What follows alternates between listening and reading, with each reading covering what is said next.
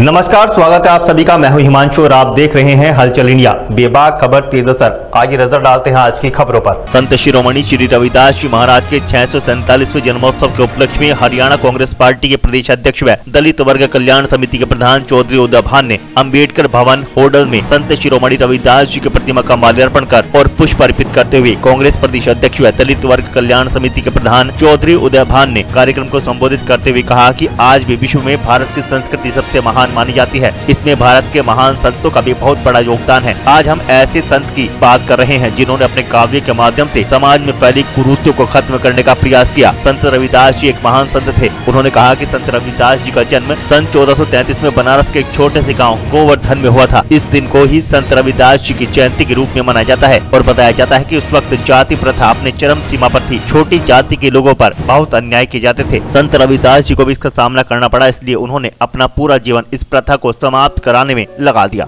मूर्ख जन रहे, राम सब में मौजूद।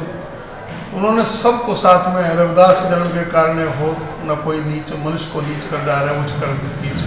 जो इस तरह की जो उनकी शिक्षाएँ थी, उनको अपने अंदर आत्मसात करना चाहिए और एक उत्कृष्ट समाज की हमें रचना करनी चाहिए, जिसमें आपस में कोई भेदभाव ना हो, प्रेम, प्यार, भाईचारे के साथ में रहें सुख समृद्धि सबके घरों में आए, आगे बढ़ें। और नींद अगर आपस में मतभेद रहता है तो उससे समाज का पतन होता है। जो समाज में व्याप्त बुराइयाँ हैं, चाहे वो नशाखोरी की है, चाहे वो दहेज की है, चाहे वो भ्रूण हत्या की है, इन सामाजिक बुराइयों को भी दूर करने का काम करें।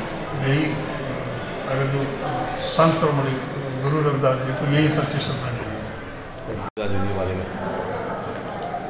आज संत श्रोमणी गुरु रविदास जी के छः सौ सैंतालीसवें प्रकट उत्सव पर यहाँ पर कार्यक्रम किया गया। बहुत ही सबको शुभकामनाएँ बधाई दी।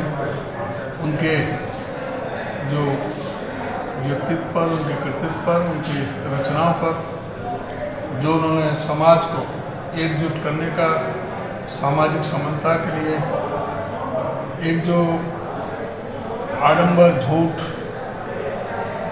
जो आपस में जाति भेद का जो वातावरण था, उस समय की परिस्थितियों में छुआछात के ऊपर और ये सब के ऊपर जो संत रविदास जी की जो वाणी थी, जो उन्होंने अपनी दोहों से, छंदों से, जो एक पूरे देश में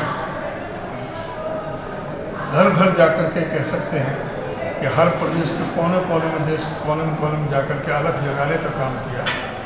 जब उस समय ना कोई सोशल मीडिया था, ना कोई प्रिंट मीडिया था। वक्त हो चला है, आपसे विदा लेने का। कल फिर होंगे हाजिर। कुछ नई और ताज़ा खबरों के साथ। तब तक के लिए दीजिए हमें इजाज़त। नमस्कार। देखते रहिए हलचल इंडिया। हलचल इंडिया को यूट्यूब पर सब्सक्राइब करना ना भूलें।